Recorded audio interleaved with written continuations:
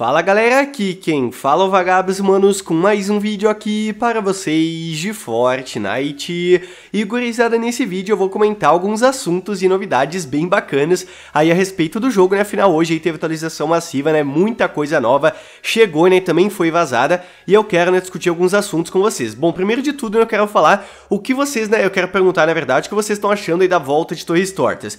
Eu joguei algumas partidas e, manos, tá todo mundo caindo lá, né? Claro que é o primeiro dia né, da volta, então isso já era imaginado, mas vamos ver né, se vai continuar sendo uma cidade tão populosa, né, assim como era antigamente, onde, sei lá, né, 30, 40% do lobby, né, cai somente em torres tortas, né? Isso deixa as partidas mais rápidas, porque muita gente morre, né, logo nos primeiros minutos ali, né, já que geral tá caindo no mesmo lugar, mas enfim, né, tá retornando aquele caos aí de torres tortas, né, que tinha no passado do jogo, né? Comenta se você tá curtindo isso aí ou não. E olhem só, né, aproveitando o assunto de torres tortas, já tô mostrando na tela para vocês nos locais que vocês podem encontrar baús, tá? Eles se encontram exatamente, né, nos mesmos locais, eu não vou falar exatamente porque eu não testei todos os baús, mas pelo que deu pra notar, né, o loot tá idêntico, né, como era antigamente. Então se você lembra onde que eram os baús, né, você vai se dar um pouco melhor, porque como dá pra ver, né, vários prédios têm muitos andares, então fica um pouco, né, perdido de onde encontrar baú, mas o local, né, tem 55 baús no total, né, muito loot ali na cidade, né, então, claro, né, muita gente cai ali, e todo mundo, né, consegue um loot decente, já que tem muito baú ali, né, e claro, né, também tem loot do chão, mas enfim, né, tá aí na tela os locais dos baús, né, infelizmente não tem como ver, né, qual andar tá cada baú, mas enfim, né, se você jogar algumas partidas, cair bastante ali, você vai acabar, né, decorando os locais deles. E, manos, olhem só, outro assunto que eu quero comentar é a respeito da possível volta do monstro Catus. Eu não sei se todo mundo percebeu, mas ali do ladinho de Torres Tortas apareceu, né, a volta do esqueleto, né, dos ossos do monstro Catus. Olhem só, aparece a pontinha ali da cabeça dele, se eu não estou enganado, né, bem do lado de Torres Tortas.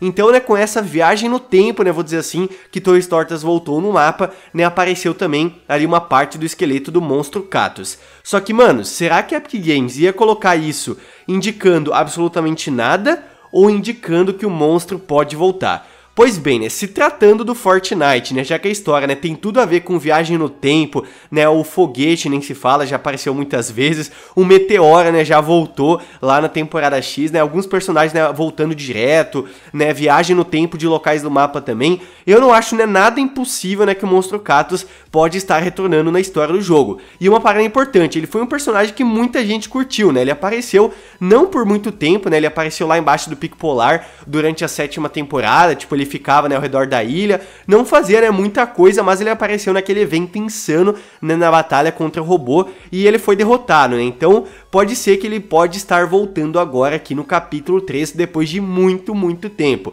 Comenta embaixo né, que você acharia da volta do Monstro Catus. Sendo sincero, eu gostaria de ver ele voltando. Ah, mas a história vai se repetir, é muito repetitivo. Não importa, mas o Monstro Catus foi insano demais. Se ele voltar, eu vou ficar feliz, porque eu gostava muito dele mesmo, né? Representava ali um monstro, né? Realmente bem maligno e tudo mais. Pra ser sincero, né? Na luta contra o robô, eu tava torcendo pra ele, porque eu achei ele insano, mas ele acabou perdendo, né? Mas enfim, né? Fique ligado se tiver alguma informação, né? Extra no futuro sobre a volta, né? Mais concreta desse monstro, eu vou estar tá atualizando vocês por aqui. Mas mas a Epic Games já colocou né, o esqueleto dele nos ossos dele de volta no mapa, né? Não sei, talvez esteja mesmo indicando alguma coisa. E uma parada muito da hora para comentar aqui também é sobre recompensas gratuitas. Uh, se você né, já logou depois da atualização, você notou né, que ao entrar no jogo, você recebeu essa música aqui do lobby, né? Chamada Clássico do Lobby, né? Que é uma música bem antiga do jogo lá do capítulo 1, né? Epic Games liberou essa música de graça para todo mundo hoje, tá? Na atualização.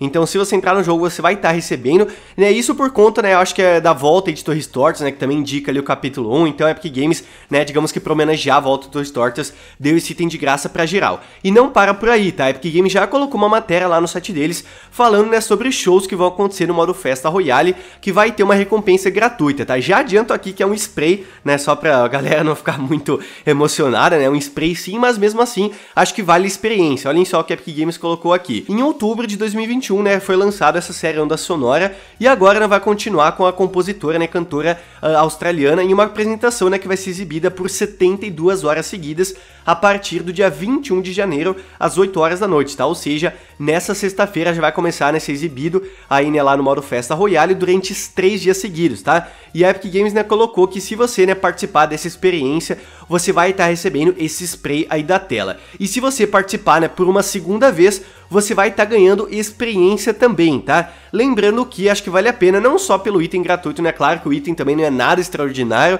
né? Acho que nem vale a pena você fazer isso só pelo item, mas você, né, curtir ali a experiência, porque da última vez foi bem legal a série Onda Sonora, né? Epic Games já colocou aqui né, que cada show vai ter uma experiência diferente, uma experiência única. Inclusive, né, um dos próximos artistas que vai se apresentar aí no, no modo Festa Royale vai ser o rapper né, brasileiro Emicida. Então, né, os BRs vão estar tá sendo representados, né, muito em breve também, né? Mas então tá aí nesse final de semana, se você participar de uma experiência aí lá no modo Festa Royale, você vai estar tá recebendo o spray e se você quiser participar, né, por, pela segunda vez, você consegue, né, XP também na conta, tá? E uma parada que muita gente talvez não deu tanta bola hoje, né, porque chegou dinossauros, voltou Torres Tortas, é a volta também do lança-granadas, tá? Esse item voltou então hoje, né, em partidas normais. A Epic Games colocou o seguinte: o lança-granadas está de volta, né, com alguns ajustes. Agora os projéteis quicam apenas uma vez antes de explodir, além de serem direcionados com maior precisão, né, para o alvo. Lança-granadas podem ser encontrados em baús raros entregas de suprimentos e tubarões, né? Então em baús comuns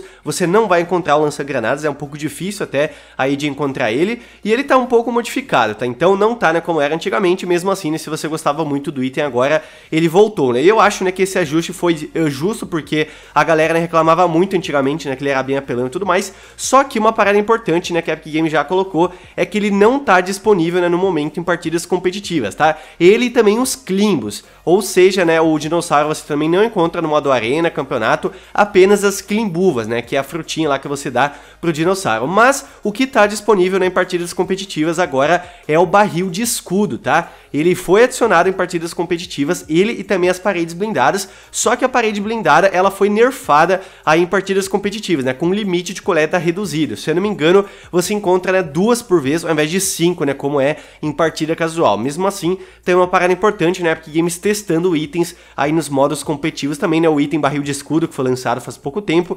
Vamos ver nesse pessoal, né, vai aprovar aí modos competitivos também ou não. Mas então é isso, manos. Espero que vocês tenham gostado aqui do vídeo. Comente aí embaixo, né, o que você achou dos assuntos que eu falei aqui. Se você, né, tá curtindo essa volta de Torres Tortas, né, a galera realmente, né, hypou demais isso aí, né, todo mundo tá caindo. Vamos ver, né, se vai se manter, né, o pessoal realmente caindo bastante no local, se vai ser como antigamente, né, vai ser um lugar super hypado no mapa, né, toda a partida geral caindo. Vamos ver, né, vamos ver, porque agora ainda tá muito cedo, né, porque recém voltou, aí os ânimos estão lá em cima, mas eu quero ver né, se daqui a um tempinho vai continuar sendo, né, tão famoso. Eu acho que sim, né, porque Torres Tortas é Torres Tortas, né, já tem sua marca aí no jogo. E se você gostou do vídeo, manos, deixa o likezão aí, porque não custa nada e me ajuda muito. E também mande, né, pros seus amigos, para todo mundo ficar ligado em mais assuntos, novidades interessantes, né, recompensas gratuitas que a galera pode estar conseguindo, né, agora logando no jogo, né, também acompanhando aí eventos no modo Festa Royale. E claro, né, também para ficarem sabendo que quem sabe em breve, né, vai voltar o Monstro Catus. Se isso acontecer, ia ser insano demais, pelo menos na minha opinião. Então é isso, manos, aquele abraço, se vemos no próximo vídeo. Valeu, falou, se eu fui.